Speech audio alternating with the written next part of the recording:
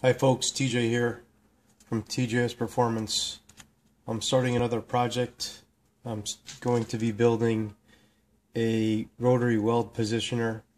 I bought plans online on from a person named Ryan M, who that's his YouTube username.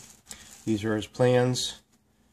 He also has a site called minidozerbuild.com. You can order the plans from there uh, for about the price of uh, a good lunch for two people or less. You can get these plans. These plans are very thorough.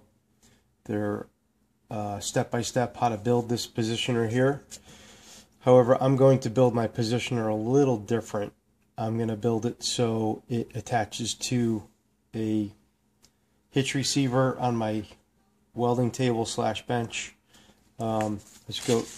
These plans are really, really good. As I said, it gives detail how to program your controller, how to do the spindle, weld tips, and the the what kind of chuck to use.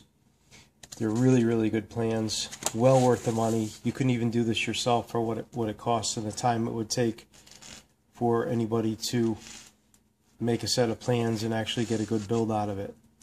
So with that said, I'm going to just show you the meat and potatoes what I have so far of the components I fabricated and or purchased. So here we go. So these are the bearings that I'm going to be using. I got these from surpluscenter.com. I think they're around 21 bucks each. They are for a 2 inch diameter tube. Um, and that's going to be bolted to a frame that you make according to the plans. This is the spindle assembly with the sprocket. Um, you buy the tube, it's a 2 inch tube, DOM tubing from McMaster. Uh, the spindle, you can machine it. However, I had Ryan make me one because my lathe does not have threading capability and you weld the sprocket on to both the spindle, spud, and the tube itself. The sprocket you again get at um, surpluscenter.com. I think they're like 10 bucks. This screws into a lathe chuck adapter. This is inch and a half eight thread. That's the adapter I did purchase on eBay. Let me just show you the adapter. The adapter does take some machining. This adapter mounts to an 8 inch lathe chuck. On the back is the 1 inch, one inch and a half 8 thread. And then we just scoot over the, uh, the chuck itself. I did get the chuck, the 8 inch, 8 inch lathe chuck for free from a buddy of mine who was just giving it away. He didn't want it. It seems to be okay.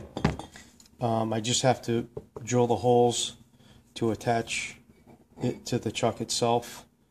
I'll do that on my Bridgeport. This uh, component screws in like this, if I can get it started here. And so this is what's going to be turning everything. Of course, it'll be right side up. I have about 3 thousandths run out here, which isn't bad. Um, I want to make sure everything's as square and less run out as possible. The sprocket does have a little more run out. It must have warped a little bit when I welded it.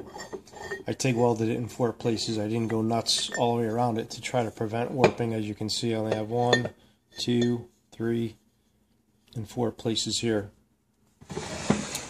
So those are the components that I have built so far. There's quite a few more to go. I also did cut the tubing according to the plans. Uh, but I did, as I said, I'm going to be modifying. These are the tubes that you cut according to the plans. Um, some other components.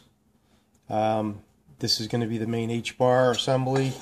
I'm going to be doing another video when I do weld this all together. This is the centerpiece. Um, really economical uh, way to build a weld positioner. Weld positioners online, you know, on eBay and stuff, a decent one, The USA made one. They start from 1500 and go all the way to many thousands of dollars. So I figure by the time I'm done with the stepper motor, uh, the Arduino controller, and some other components, I'll probably have around six or seven hundred bucks into this, maybe. Right now, I have, I think, maybe two hundred dollars into it. So, and um, I have at least seventy-five or eighty percent of the components I need to build this. So stay tuned, and if you need to buy the plans, go to minidozerbuild.com. His name is Ryan.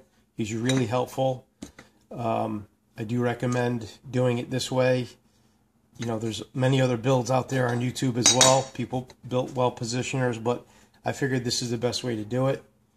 As I said, I'm going to tailor it to my needs um, on my welding table. Uh, I have a two inch receiver under here, so I'm going to be utilizing that as well.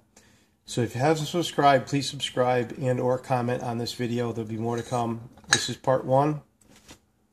So I think part two I'm going to include the building of and setting up to weld the H assembly, the main frame, upper frame assembly.